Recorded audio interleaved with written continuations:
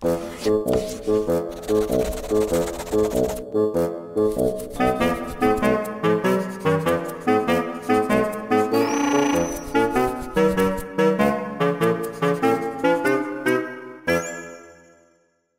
下我们要看的是化石的燃料，我们叫 fossil 的 fuel。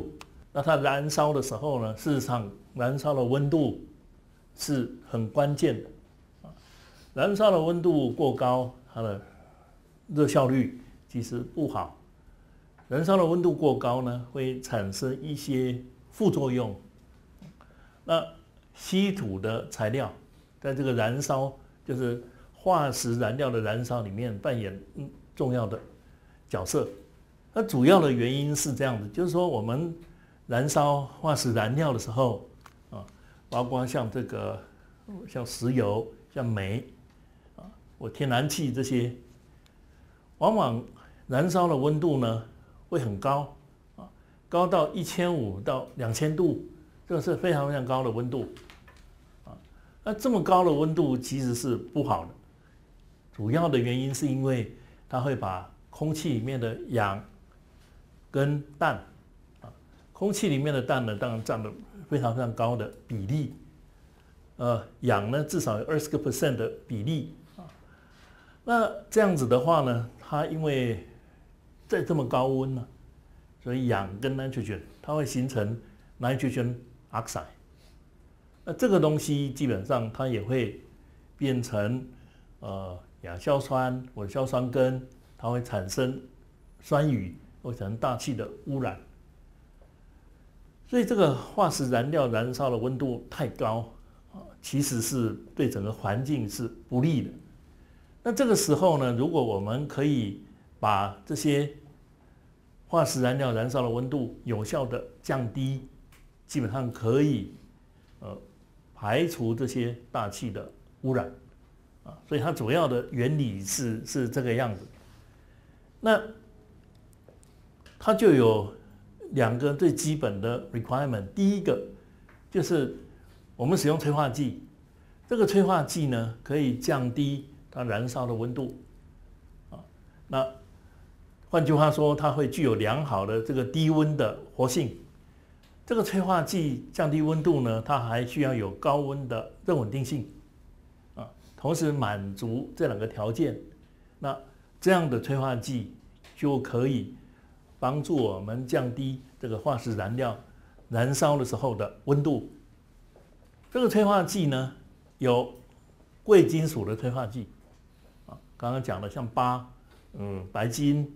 rhodium 这些，价格非常非常的贵。另外有一类呢，就是非贵金属的催化剂。那文献上我们看到很多的研究是稀土，啊，或者是碱土呢，它所取代的钙钛矿的氧化物。换句话说，你稀土啊，钙钛矿里面这个 rare，然后呃，你有一个金属，然后这样子的，这样子的 material 呢，它基本上可以当做催化剂。催化剂的效果主要是在降低燃烧的温度，维持低温燃烧的活性。啊，所以你要燃烧这些化石的燃料，不需要在这么高温。啊，我在这么高温的话，就可以避免这些气体的产生。最常见的呢，就是 p r o s k y 另外有一类的呢是稀土的 hexa。Aluminum，这些呢都是有稀土的啊，这样的东西呢扮演催化剂的角色啊，所以我们这边讲的这些稀土材料，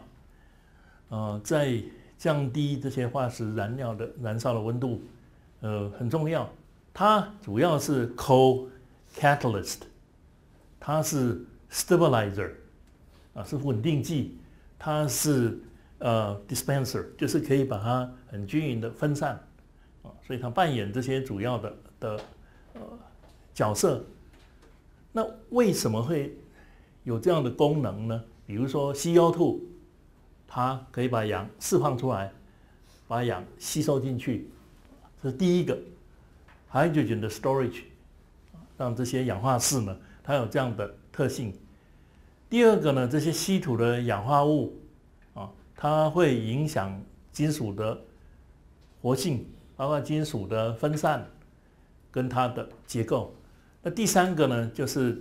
稀土的这些氧化物一般熔点非常非常高。啊所以可以提高这个这个催化剂呢，它耐热的这个特性。啊那这种当然看起来呢，它是可以大规模使用的一个一个技术，呃，包括这些稀土的材料。呃，最简单的就是我们用贵金属，这个贵金属呢，它价格贵，成本非常高，所以基本上稀土的材料呢，在这个化石燃料的燃烧里面，特别是降低燃烧的温度。呃，它其实可以扮演蛮重要的一个角色，这些都是我们刚刚介绍过 p r o p s k y 跟这个 hexaluminate，还有稀土的这些材料。好，这边事实上是一些实际上的数字。那如果我们利用稀土催化剂的话，基本上降低燃烧的温度，所以它可以提升燃烧的效率。减少这个 nitrogen oxide 的形成，啊，这是主要的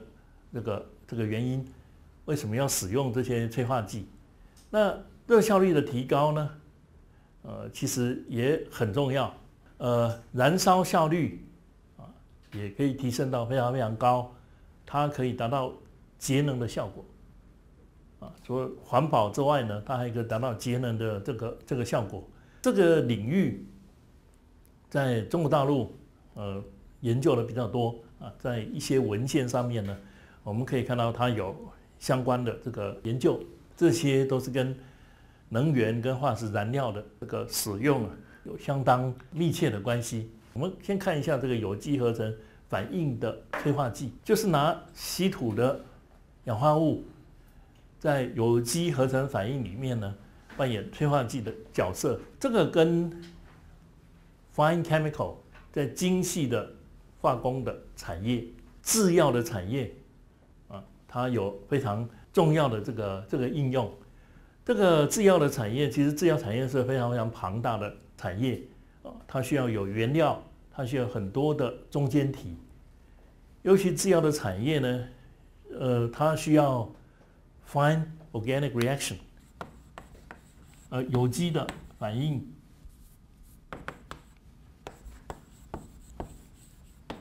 啊，非常非常细致的有机的反应，往往一个药的呃合成或一个药的制备需要几十个步骤，每一个步骤呢，它都有不同的要求，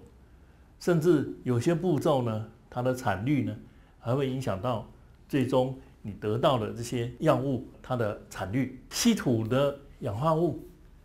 在这里面呢，其实就扮演。很重要的一个角色，我们可以看得到它是有机的反应，尤其在这制药的产业里面呢，牵涉到有些 fine chemical 的 reaction，尤其是 fine organic 这个 chemistry 的 reaction。这个例子我们看到的是 CO2 氧化式啊，那这个氧化式呢可以用来 catalyze 这七个不同的反应，这是在一篇 review 的 paper 里面。这个氧化式的结构，氧化式的结构呢，它是 fluoride 的结构，CO2，它是我们叫 fluoride structure，啊，所以你可以看到这个图，这个图上面呢，这个图是 CO2 的结构，呃，黄色的代表四价的 Ce，呃，蓝色的代表 oxide，啊，氧的这个这个离子，这个氧化式它能扮演催化的这个角色呢？就是 alcohol 的 dehydration，醇类的去水反应，aromatic compound 的 alkylation，要把一个芳香族的，比如说环，你要把它呃烷基化，你要做 alkylation，keto formation，alderization，redox 氧化还原的反应，不饱和化合物的氢化，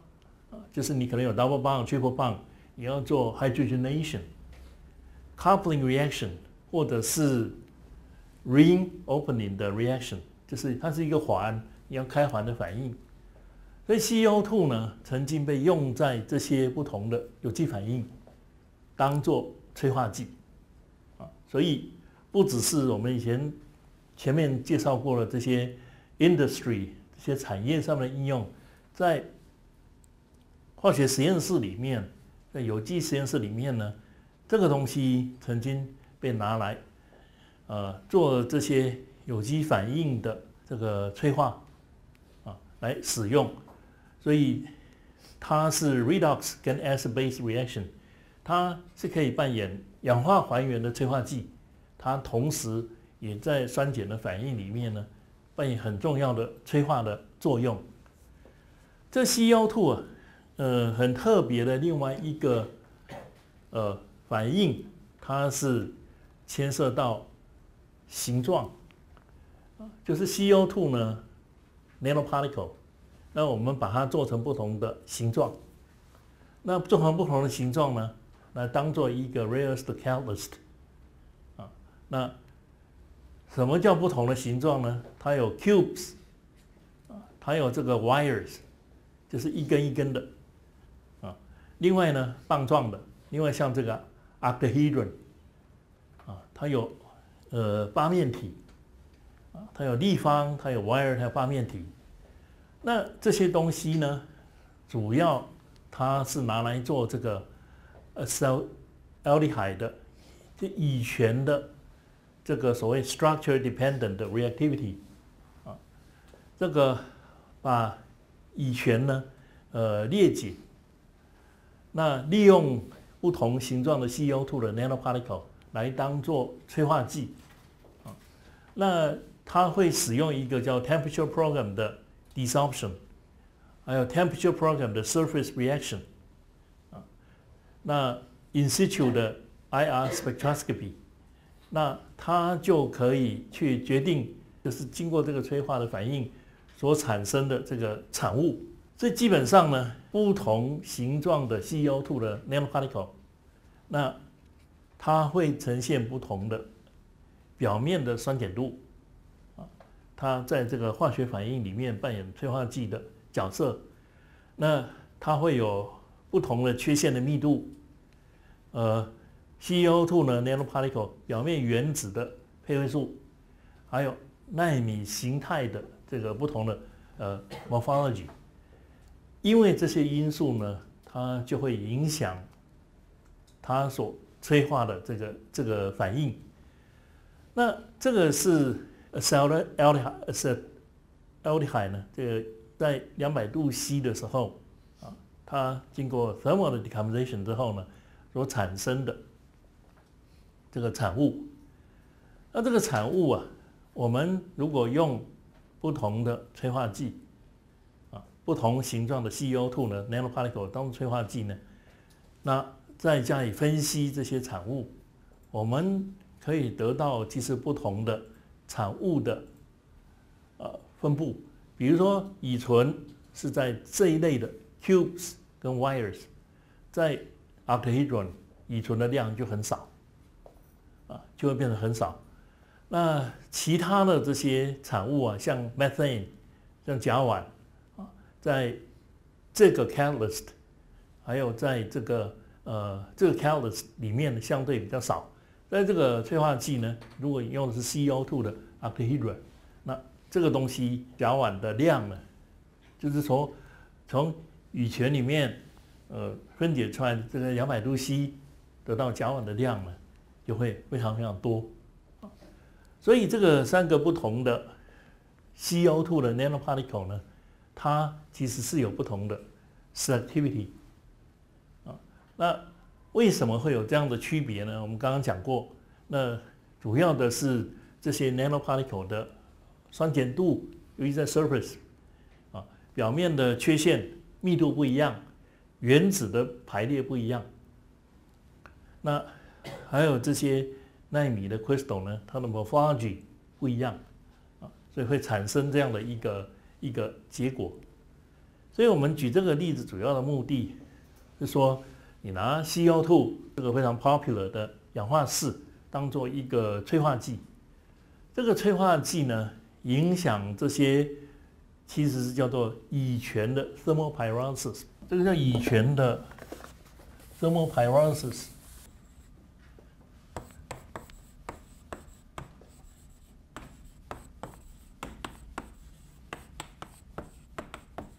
啊，我们把这个乙醛的分子啊，马上在两百度 C 的时候做热裂解，热裂解反应呢，在不同的 CO2 的催化剂啊催化之下，你会得到不同的这些产物。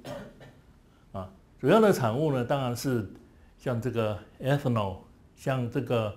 呃 chloraldehyde，还有这个 methanol、呃 methane 啊这些不同的